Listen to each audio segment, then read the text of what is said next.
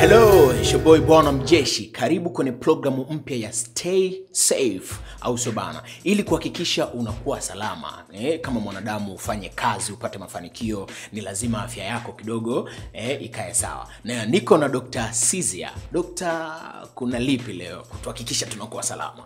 Uh, yapo mengi sana ya yeah. kuweza kuzungumzia ambayo yanafanyika mtaani ambayo sio salama.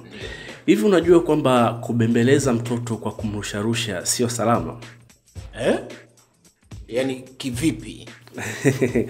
ya uh, kubembeleza mtoto kwa kumrusharusha kama tulivyozoea uh, mitaani kwamba mtoto anapokuwa analia au ana shida ya kitu chochote unaanza kumrusharusha uh, ukiamini kwamba unambembeleza aweze kutulia. Lakini kumbuka kwamba mishipa ya ubongo uh, ya mtoto mdogo uh, ni miembamba na ni ipo laini yani ni vyepesi kuweza kupasuka. Kwa hiyo unapokuwa unambembeleza mtoto kwa kumrusharusha unaweza ukasababisha mishipa ile ya ubongo ya mtoto kuweza kupasuka na kumsababishia kitu kinaitwa shaking baby syndrome Kwa hiyo yani unamaanisha kwamba mishipa ikipasuka hapo kuna watu kidogo network zinayumba. Eh, kabisa kwamba unapo uh, mrusha mtoto na ile mishipa inapoweza kupasuka moja kwa moja unaweza ukakuta kwamba mtoto alizaliwa vizuri au alizaliwa salama uh, anapokuwa anaanza kupata matatizo mbalimbali na kumbuka kwamba mtoto anapokuwa analia analia kwa sababu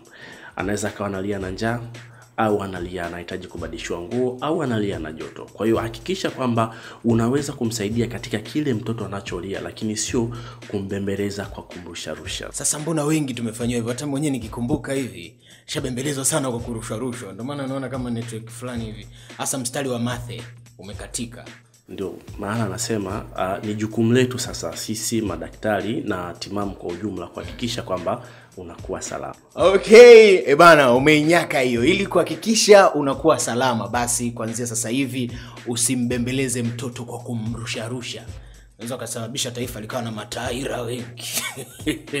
okay, kuhakikisha unakuwa salama, usichoke kujiunga nasi Timam TV. Bye na siku nyingine tena.